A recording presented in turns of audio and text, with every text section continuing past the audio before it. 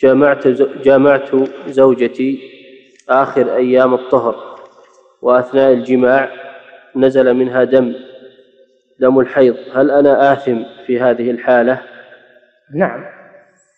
إذا جامعتها في وقت الحيض عليك التوبة إلى الله وعليك الكفارة وهي مقدار مثقال من الذهب أو نصفه. تسأل الصيارفة ما يعادل المثقال من الذهب أو نصف المثقال. تصدق به. نعم.